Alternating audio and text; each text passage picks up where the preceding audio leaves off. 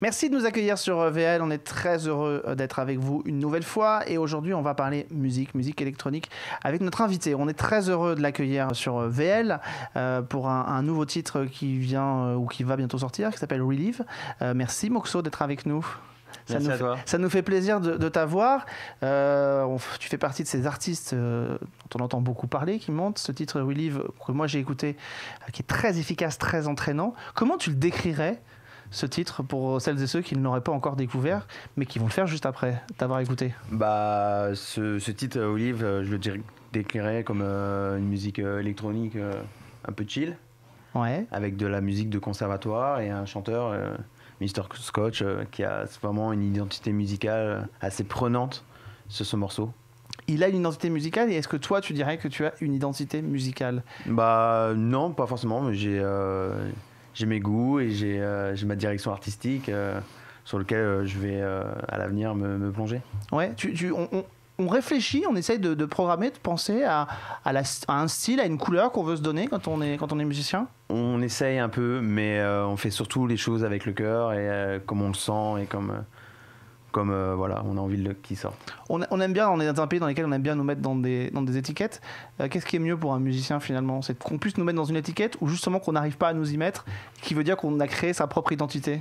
Bah, je pense, euh, ouais, ça, qu'on puisse dire qu'on ait nos propres identités, ça c'est assez remerciant, enfin, pour, pour nous d'avoir ça, mais après, c'est sûr qu'on fait les choses comme comme on l'aime. On, parlait euh, en, préparant l'interview juste avant, on parlait un peu de ces, influences, euh, ces influences qui t'ont nourri depuis, euh, depuis quelques années maintenant. Elles, vont à la fois du côté de, de, non reconnus de la musique électro comme Moby et, de gens très reconnus de la musique de film comme Hans Zimmer. c'est ce qu'on appelle un grand écart, mais c'est aussi ça qui fait que ton univers se nourrit?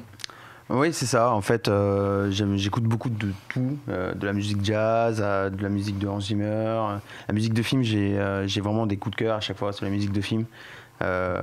c'est vrai. Et pour la musique électronique, c'est ce que j'écoute vraiment depuis mon plus jeune âge. Ouais. quels sont, il y a d'autres artistes qui t'ont nourri au fil des années, qui t'ont inspiré, autres que ceux qu'on vient de citer? Bah en fait, l'artiste qui m'a fait vraiment aimer la musique électronique, c'est Robert Miles, ouais. qui est plus de ce monde depuis plusieurs années. Et euh, c'est vraiment ce titre où je me suis dit, waouh, euh, j'adore la musique électronique. Et après, euh, je me suis nourri d'autres artistes, dont Plastic Man qui est Richie Houghton pour ses sets, d'autres artistes également quand on, quand on est un jeune musicien, qu'on se lance et qu'on veut faire de la musique, euh, notamment de la musique électro par exemple, euh, est-ce que c'est facile de se lancer et de, et de, et de démarrer au début? Aujourd'hui, pour une jeune génération, on a l'impression qu'effectivement, c'est pas tout est possible, mais enfin en tout cas la technologie permet beaucoup plus de choses. Est-ce que ça a toujours été le cas? Et, comment tu as ah, fait toi au début? Alors moi, mon parcours il est, il est, particulier parce qu'il n'est pas comme tous les artistes euh, producteurs.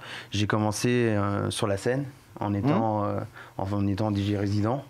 Euh, grâce à ces, résidences que j'ai pu avoir, j'ai pu euh, vraiment euh, découvrir les festivals, les, les, clubs, les événements en plein air.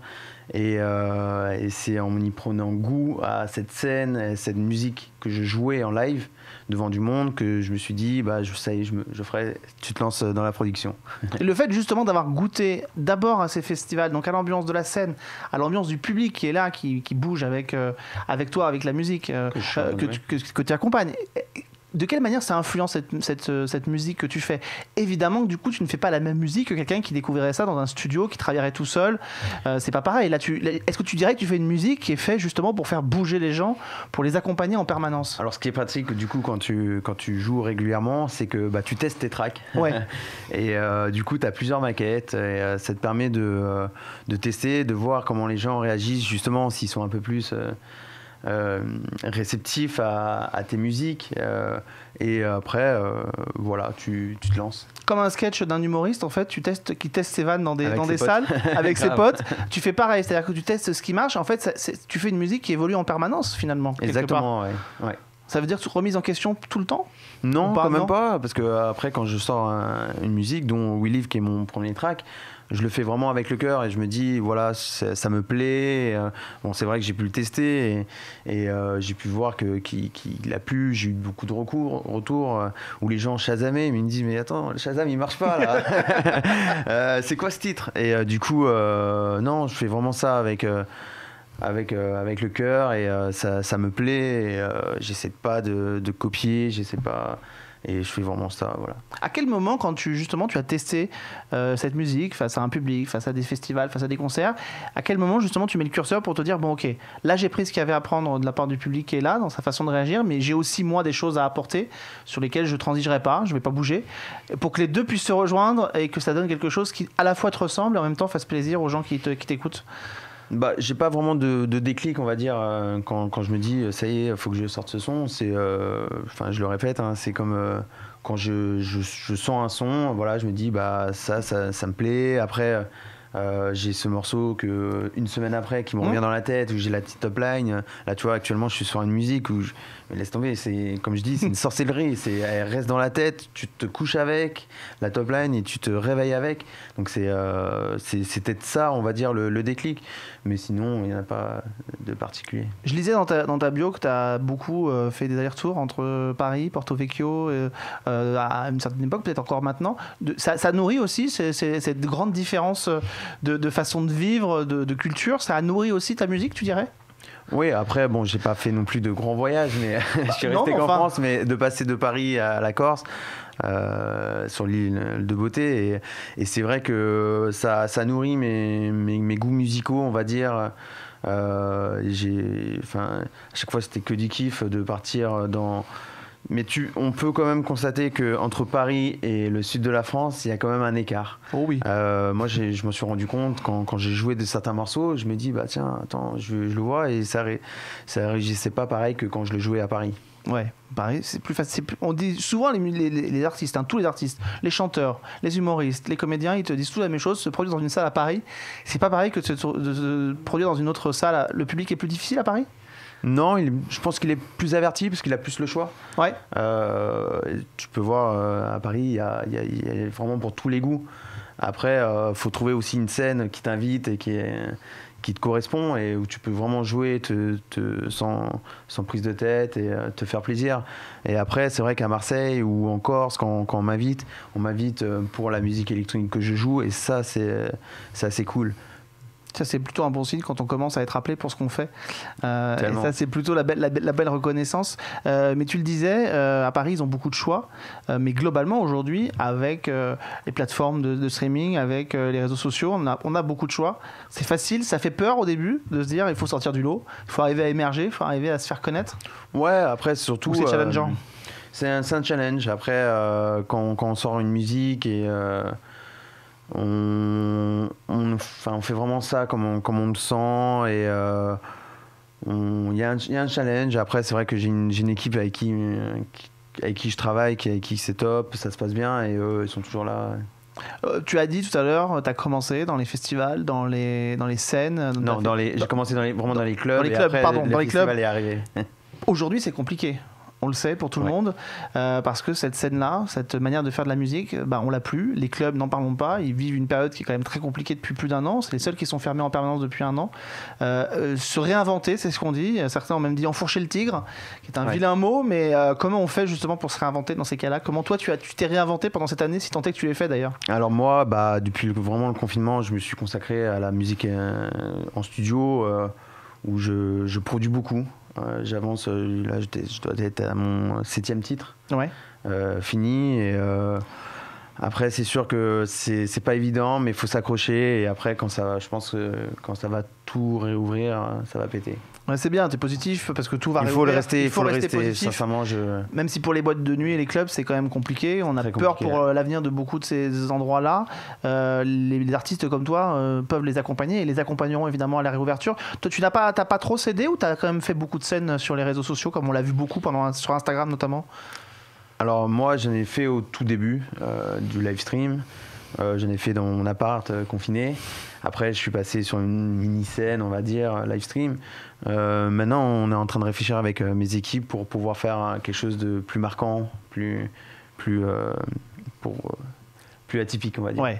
Comment on se projette là justement? On, allez, on espère que cet été, euh, tout puissant, en tout cas un tout petit peu repartir, mais on le voit, le Hellfest euh, qui a été obligé d'annuler parce que évidemment les conditions euh, de mener à bien les, concerts ou les festivals, c'est pas possible mm. sur certains types de musique. On va pas se mentir, la musique électro, c'est pas une musique qu'on écoute assis sur un fauteuil dans une jauge de 300 personnes. Donc là aussi, est-ce qu'il y a une manière de, il y a quelque chose pour réinventer ces, ces, moments que tu as tant aimé Je sais pas. Après, on y pense, j'imagine. Oui, on, on y pense euh, je sais que faut voir. On va, on va voir. Euh, pour l'instant, j'ai, j'ai qu'une date euh, où je suis annoncé. C'est au Delta Festival à Marseille.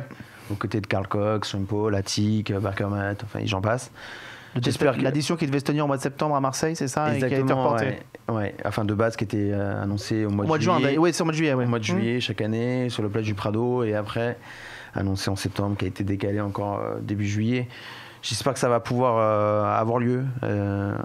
Je pense je reste positif. Bon, là, il y a ce titre qui s'appelle euh, Relieve, euh, qui, euh, tu le disais, qui est ton, premier, ton tout premier morceau. à toi. évidemment, ton, ta propre identité. si tu te regardes dans, dans, 5-10 ans, t'aimerais, t'aimerais faire quoi? T'aimerais, t'aimerais être où? Faire quoi? T'as des envies de grandeur? As des... Non, j'ai pas. J'ai, j'ai un espoir de, de pouvoir faire écouter ma musique à un maximum de personnes mais j'ai pas non plus euh, un plan de carrière bien défini, mais euh, c'est surtout faire écouter ma musique à un maximum de personnes. Mais, je lisais dans ta bio, euh, tu, tu as notamment travaillé, joué à, côté de gens comme Martin Solveig par exemple, qui accompagne lui aussi des grands artistes. Ça, ça fait partie aussi peut-être de, de ce que tu as envie de faire, de, de devenir demain aux côtés d'artistes comme Madonna, comme. Bien sûr. en fait, bah, avec mon expérience dans laquelle j'ai joué avec plein d'artistes, des artistes internationaux. Hum et euh, avec qui j'ai fait des, échanges, avec qui j'échange encore euh, actuellement. Euh, si je me vois dans, dans 10 ans, je ferai pareil en fait. j'échangerai avec des personnes qui, qui, se lanceront dans la musique. Et des jeunes euh, DJ qui viendront jouer avec Moxo pour, euh, pour démarrer et accompagner euh, une fois que tout, tout, sera relancé, évidemment, parce que c'est évidemment plus difficile encore pour des gens qui font de la musique électro et qui se nourrissent de la scène et de ces ambiances de fête de, de, se projeter encore aujourd'hui. Mais pour l'instant, en tout cas, on peut se projeter avec Relieve, qui est le titre qui est, qui est lancé. et puis on croise les doigts, parce que, en tout cas, le temps que tu es aujourd'hui et que tu peux pas produire, tu le nourris pour euh, produire beaucoup de titres. Voilà, donc, euh, ça. donc ça veut dire qu'on peut espérer que tout soit prêt pour un, un grand show, qu'il soit vraiment avec tes titres à toi quand tu vas arriver. Ouais. Après, euh, je dois, je dois t'avouer, Alexandre, que je vais sortir un, nouveau, un autre prochain morceau, donc qui sera la suite de We Live, qui devrait sortir début d'été. Bon, pour la reprise. Exactement. Pour la reprise. Parce pour le déconfinement. Pour le déconfinement. Lequel? Euh, Non, soyons pas négatifs, mais en tout cas, pour la reprise, euh, c'est tout ce qu'on souhaite évidemment à tous les artistes, de pouvoir remonter sur scène. Et je crois qu'il y, a une vraie appétence, on le sait chez VL, notamment les summer tours qui nourrissent les gens sur les plages, mais aussi les festivals. Le mois de juillet, c'est la période des festivals, donc c'est des moments qui sont importants pour euh, les artistes et pour faire découvrir ses univers et son, et son univers. En tout cas, Relive est, est disponible. On vous mettra évidemment tous les liens en description de cette interview. Et puis surtout, on croise les doigts euh, pour euh, bah, ces sept titres déjà qui sont prêts. En attendant les autres, il y en a combien que tu, tu, vas jusqu'où? Tu te projettes euh, jusqu'à bah, déjà, je sors le prochain avant l'été. Après, on, il y aura, je pense, un prochain un son hivernal. Bon, bah c'est bien.